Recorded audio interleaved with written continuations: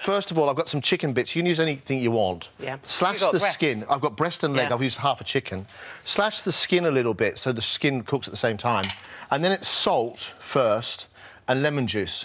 Now, the lemon juice actually tenderises the meat so that when it does cook, you don't end up with it being tough. Okay. So the next bit to that, then I'm going to do that. Leave that sort of sit maybe with a little bit of time for some for a, a you know a bit of flavour, because you think about Greek food and actually and, and kebabs and stuff, and time is really prevalent. Lots and lots of yogurt. Yogurt. Yeah, yogurt, not yogurt, it's yogurt. yogurt. So the whole thing with this is this protects... So just natural yogurt. and it protects the flesh, but it also means you get a lot of flavour from it because it cooks nicely. And does that keep it moist as well? Yes, Yeah. keeps it lovely and moist. A bit, a bit of oil on your griddle. If you're doing a barbie, you don't need anything like that. And then skin side down. Could I just ask, would you marinate that if you had time? For... Yeah, you can leave it overnight. Yeah. That's fine. But if it's a bit of lamb, do it overnight and then it'll be nice and tender. And give it a bit of welly. Make sure it makes some noise. Nothing in life is any good without noise. You know what I mean? Yeah. It needs noise. So that's that. Now, as they cook away, I'm going to show you a life skill, Eamonn, that you're going to actually you're going to love me for. A life skill. Yeah, it's how to make flatbreads without a rolling pin. Oh. You make lots of different ones, like roll, uh, and then you put lots of flour between them. And then all you do is you just push them all at the same time, turn them over, and they all become exactly the same size. Oh, yeah. Look, see, so that Yeah. you now you can make a load of kebabs for your whole family now, Aim, when you're at home. That's He really. does that quite often. I'm sure he does. Yes, but he hasn't that quite is a good mastered the trick. flatbread But, yet. but, so, but you do yeah. pizza bases, do the same. Just, but you don't need a rolling pin, and they'll all come out And the they're same. all the same. Once they're floured, that's going into a hot pan which has got no oil at all.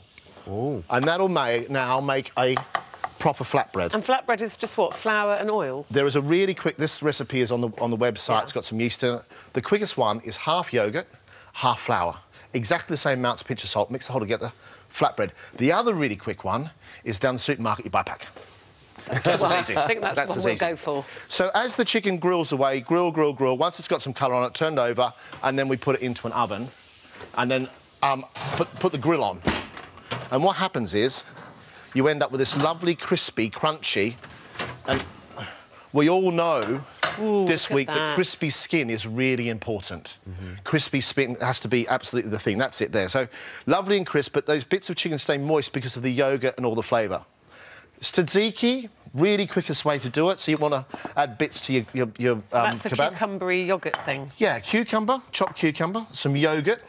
I love the yogurt. Yogurt. Bit of mint, a bit of garlic. See, I'm already outside the barbie with my Australian accent, bottle of wine, couple of beers, and. And for people that haven't seen MasterChef, the crispy skin reference. Uh, well, there was just an issue about we, crispy skin's been quite quite a big thing this this series. People want we want crispy skin. Um, uh, if it should be crispy, and not crispy skin if it shouldn't be crispy. That's right. That's cleared that up That's, then. yeah, absolutely. That's is right. is it the final this Friday? Final this Friday. Yeah, good finalists. It's amazing. It's it. amazing, amazing, amazing final. I think it's it's one of the best years we've ever done. Really? Yeah, yeah. And you've done how many years now? 14, Wow. 14 years. I've been doing it for as long as you've been on telly, Aidan. That's like half the No, time. No, it's half the time. What, you've been on for seven years? no, been on, Great. I've been on for 38. 30, Right. 38. So for me, the best thing to do now, can you pass that platter over? Is That- now that looks literally. very nice, doesn't it? Yeah, What did you say? Pass this over. Just put that there in the middle. Hmm. Because I believe that if you want to make a kebab, right, Yeah. it should be like a family. You tuck in, and have whatever you like. Chop the chicken up Yeah. Into bits, and then you've got. Do you want it over there? Hang on, I'll Oh, bring oh, it thank to you. Thank you. very much. There we go. Look at this. That's a very clever plate because it looks like a big stone plate and it's plastic. That's it. well, really light. it's, it's actually it's a high-grade ceramic there. Sorry, high-grade Of course, yeah, high ceramic. ceramic. Then you just take a bit of bread, anything else you want with it, and mix Yeah. it all together. As So you know, the recipes are always there, and then a little bit of feta cheese across the top. Nice bit of hummus. Yeah, flatbreads which I made for you this morning. Lovely. More flatbreads over here cooking. I'm going to put more let me chicken just- kebab, Give me with a knife. and that's all you got to do. But the thing is, if it's a barbie, you're outside with all your friends, Mm-hmm. and you can have it as a salad. You can have it as a, you know, a bit of chicken. You can have it as a, a sandwich, whatever you want really. And there's a little tomato salad over there with some onions and tomatoes and stuff. Are you sniffing the So chicken to what make would sure it's you- okay? Mm, mm, is it all mm, right? No, no, it's lovely. It's really nice. Um, you've kept it moist. I have. Yeah.